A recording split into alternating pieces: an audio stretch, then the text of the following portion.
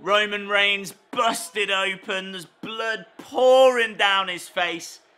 I mean, I'm amazed that the ref hasn't just stopped this.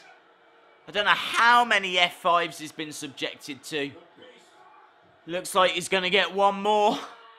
Honestly, there's blood every... Oh! He's reversed it! Spear!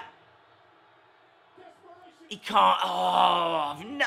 Honestly, it looks like he's wearing a mask, too. Kick out from Brock. There's no way this match can go on for much longer.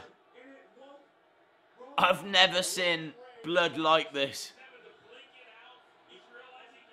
It's incredible. No, Roman seems to just be getting fired up from it.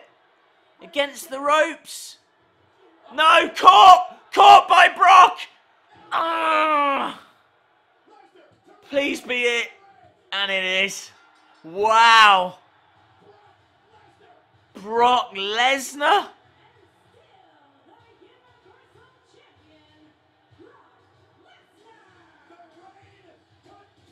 I don't think anyone predicted that. I think everyone thought that Brock was leaving.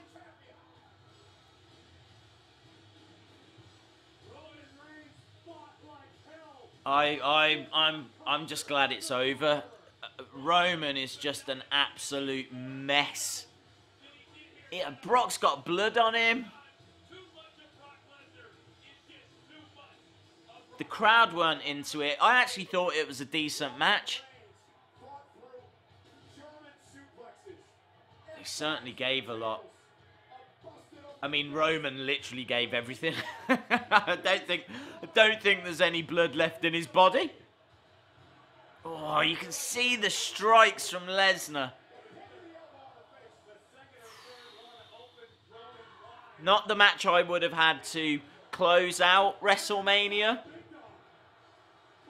But they certainly put on a show.